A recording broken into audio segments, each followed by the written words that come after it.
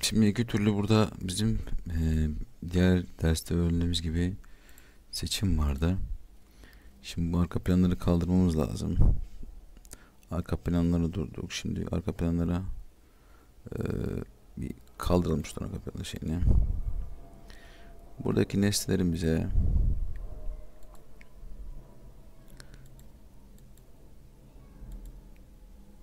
farkındalıkta katabiliriz bu şekilde.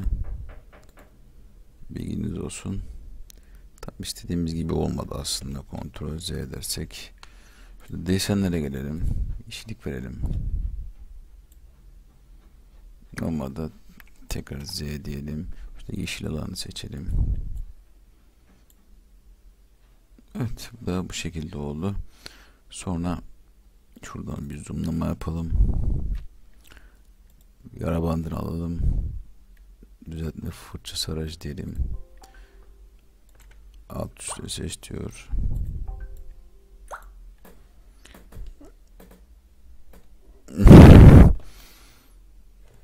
Alt seç seç.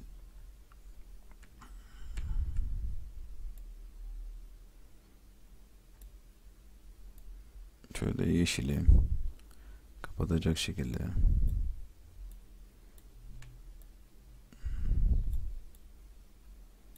Bak yeşil zaten aslında bunu kapatamıyor.